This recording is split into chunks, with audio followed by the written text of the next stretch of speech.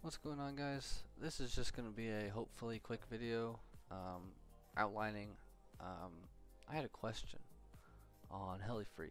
Somebody messaged me because I told him, hey man, if you got any questions about OpenTX or FrSky, feel free to hit me up. I'll see what I can do. So he was wondering if there was a way to use the potentiometer on the face of the radio as trim for rudder. Reason being, he wanted to be able to uh, use a simulator turn that knob in either direction and practice his pirouettes without having to use the uh, actual trim switches on the uh, under the under the stick. Uh, it's easier to access. It's more you know convenient and it's easy to center because it's got a little detent halfway through the travel. So uh, I'm just going to be showing how I would do this. Uh, this is my model for simulator. Yours might be different. I don't know I'm going to double click that and go to mixes here. So rudder's on channel 4, right? So I'm going to click that, highlight it, and right click it, hit duplicate, and it's going to bring up a copy of that, uh, but a little bit different. You see this here? That's multiplexing. We'll we'll change that later. So we're going to double click this and bring it'll bring up that mix for channel 4. Um, so this is what we're going to use to mix that potentiometer to the uh, rudder channel. So, first thing I'm going to do is come up to source here. This is the source of this mix, right? So I'm going to change that to S2 because that's what that uh, knob is uh, on the right of the th it's the rightmost of the three on the face of the radio. So that's that. Then you're going to come down to switch. This isn't necessarily required, but if you want to be able to fly normally, I would say it kind of is required. So you're going to come down to switch here. I'm going to use switch D, which is the um, rightmost short three position switch on the face of the radio. So I'm going to scroll down to SD down because that's the, you know, when the switch is all the way down on the radio, it's going to activate this mix. So go and choose that.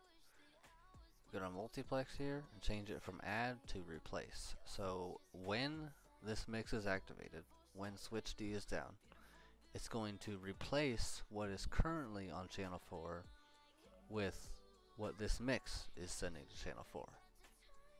So, let's go and test it, hey? Throttle Simulate. hold, flight mode 1, reset, just, pink monkey, simulator. uh, long press model, short press model, and as you can see, my switch D is all the way down already, so it's already working. So if I move this pot around, you can see it changing channel 4. So if I want to practice right piros, turn that pot all the way to the right, boom, there you go. Turn it all the way to the left, left piros. Center it, good. If I want to return to normal simulator, just go to switch D on your radio, turn it back up, and you're back to regular rudder control. And that's it, really.